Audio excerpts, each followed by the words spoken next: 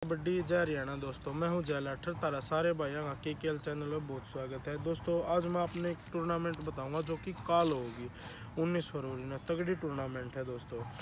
इस टूर्नामेंट का पहला इनाम है इक्यावन हज़ार रुपये, दूसरा इनाम है इकतीस हज़ार रुपये और तीसरा और चौथा इनाम है ग्यारह ग्यारह हज़ार रुपये। इस टूर्नामेंट में बेस्ट रेडर कैचर लग नगद इनाम दिया जाएगा भाई।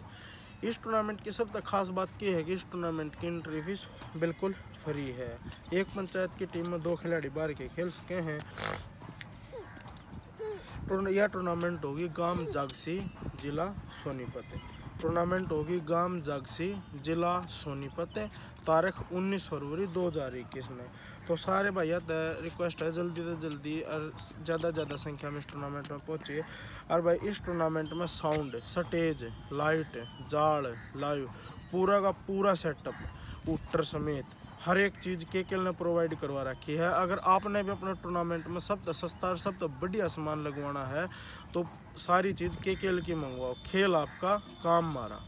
जय कबड्डी जय हरियाणा।